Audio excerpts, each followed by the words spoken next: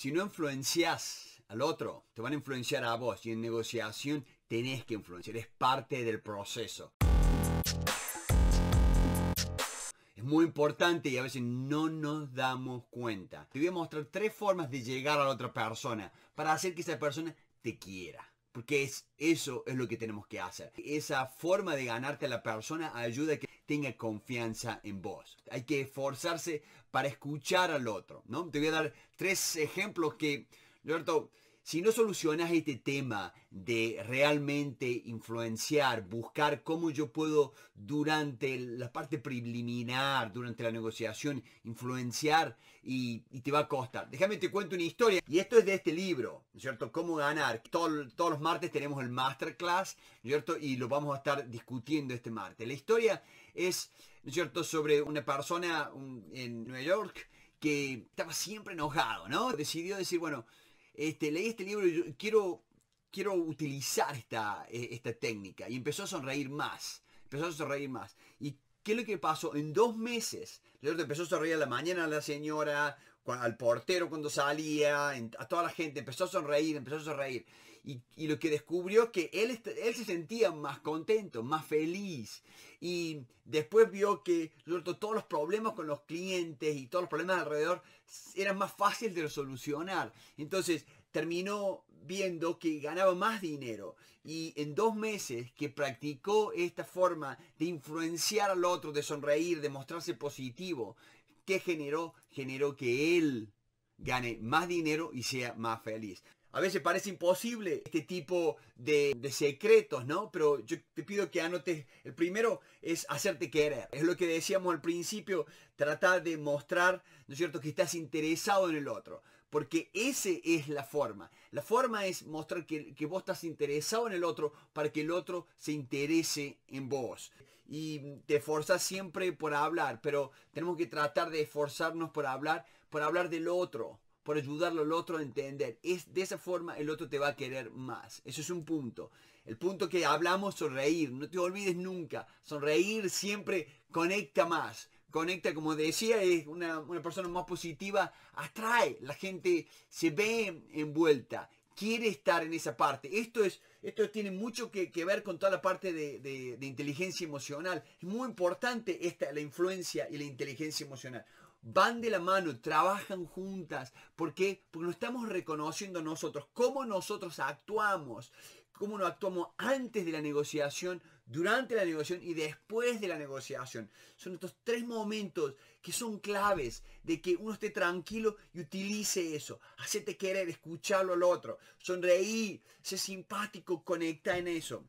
Otro punto que es simplísimo, nombra el nombre de ellos, decir el nombre, utilizar el nombre de ellos, lo más importante. Y no nos damos cuenta que lo, más importante para la otra persona es justamente el nombre. O empezás a decir el nombre y vas a ver, te van a prestar mucha más atención. Además, no te olvides, en, acá tenemos más de 500 videos el sitio de negociación. Te aviso, porque muchos de estos videos los vas a poder ver, vas a poder entender más sobre esto y esto es lo que yo te decía del masterclass. No te olvides siempre, todos los martes, acá está, bien claro, martes a las 18 horas tenemos el masterclass, ¿cierto? Que te va a ayudar muchísimo a mejorar en esto. Y por último, que quería darte es este, esta habilidad, esta forma de influenciar, que mucha gente no se da cuenta, pero es escuchar.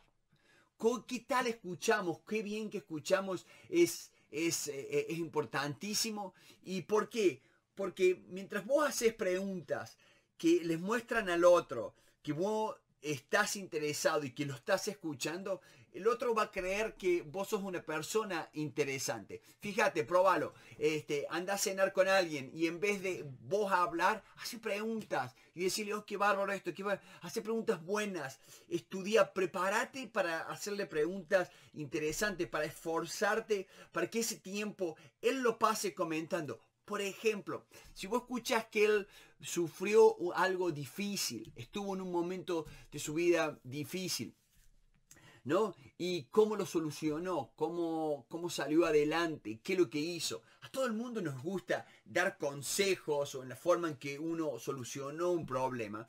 Entonces, eh, em, abocate a eso, investiga en eso, así que se explaye, ayudarlo a él a que a poner esfuerzo a escucharlo y poner esfuerzo a que él se sienta como y te lo diga. Vas a ver que una vez que él termine va, va a pensar que, oh, por Dios, este, esta, esta persona es sumamente em, interesante en hablar. Y el único que habló fue el otro. ¿Por qué? Porque eso genera contacto. Entonces, estos son elementos claves para ir a una eh, negociación. La gente que entiende, que sabe esto, tiene una gran ventaja en cómo lograr mejores beneficios. Por ahí nos damos, ¿por qué en mi libro, en mi libro hablo tanto, ¿no es cierto?, de la empatía.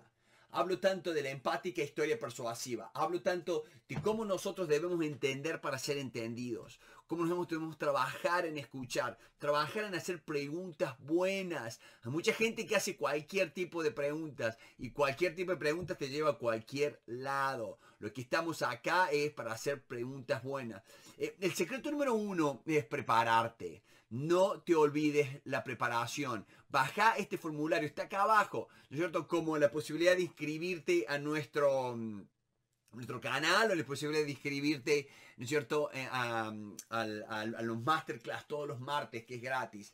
Pero ¿a, qué voy con esto? Con la preparación es clave porque la preparación te va a dar esos elementos que vos necesitas para no solo entenderte a vos, sino para buscar qué es lo que vos no entendés del otro y las cosas en las cuales podés conectar con el otro.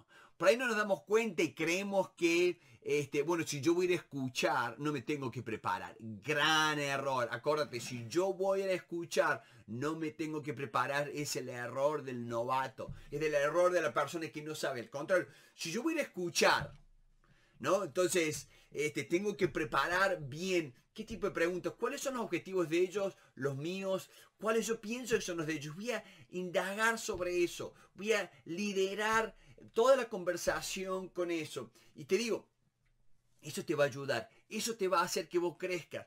Eh, eh, siempre hablamos de la inteligencia emocional, ¿no? Porque la inteligencia emocional es una de las mejores este, em, skills que podés adquirir, como la autoconciencia, la autorregulación, la automotivación, la empatía. Mira otros videos acá en el canal nuestro sobre esto, sobre la empatía sobre este, la inteligencia emocional, pues te van a ayudar mucho a crecer como persona. No hay ningún negociador. Anoche estaba hablando con una persona y yo le decía, mira, este, si quieres ser un buen negociador, este, lo más importante no es que trates de tener que, que todo el mundo tenga confianza en vos. Escuchaste bien, no es que todo el mundo tenga confianza en vos. ¿Sabes qué es lo más importante? Es tener confianza en uno mismo. Trabaja en tu confianza. Para de tratar de, satisfacer las necesidades de todo el mundo. Trabaja en tu confianza. ¿Qué es lo que te hace a vos? ¿Qué es lo que, ¿Cuál es la conciencia, la autoconciencia tuya, la autorregulación? Entender. Escuchate a vos mismo. Repetí tu nombre y querelo. Sé sé partícipe y sabes que el esfuerzo que le pones, el esfuerzo que le pones a tu trabajo, si estás viendo este video, yo sé que sos una persona que es un líder, una persona que quiere ser un líder y se está trabajando, porque nadie estudia negociación si no quiere liderar. Nadie. La, negociación es para los líderes. Sonreí, sé más positivo, ayuda a que te quieran. Eso, esos pequeños secretos te van a siempre dar este, mejores resultados. ¿Por qué? Y porque en el libro lo digo, este, em, no solo es el mindset, empiezo con el libro, empiezo en toda la parte del mindset que tenemos que tener. ¿Cuál es nuestra cabeza? ¿Cómo tenemos que trabajar? Te recomiendo comprar el libro, bajalo, eh, este, porque te va a ayudar muchísimo. Son 20 años, 26 años que tengo en esto, pero son 20 años que tengo estudiando. ¿Para qué? Para no solo saber teoría, sino cuáles son los mejores puntos. ¿Qué es lo mejor que podemos hacer para negociar mejor? Para nosotros. Y mucha gente eh, erróneamente cree que, que, que, es que el otro confíe en mí, que el otro piense que yo soy bueno.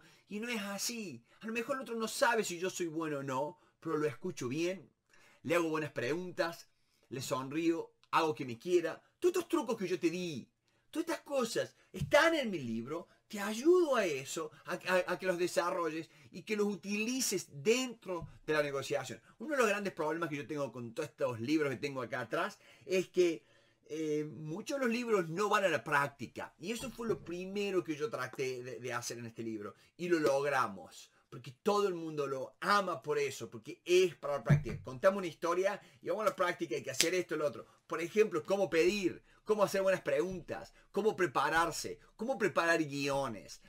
Son todas ciencias y estrategias, tips, que una vez que uno lo encuentra y, lo comparte y lo ve con la inteligencia emocional, con esta forma de trabajar, de influenciar de Dale Carnegie.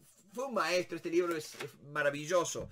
Este, tiene más de 80 años este libro, o sea que, que, y todavía tiene la vigencia porque porque es totalmente real y somos todos, seguimos siendo, después de 80 años, 100 años, 200, 300 años, seguimos siendo seres humanos. Eso es lo que nos diferencia y ahí es donde yo te invito a que vayamos ya mismo a ver otro video sobre inteligencia emocional. Lo vas a ver acá, acá al lado, lo vas a ver acá. Es importantísimo para que te des cuenta y trabaja en eso.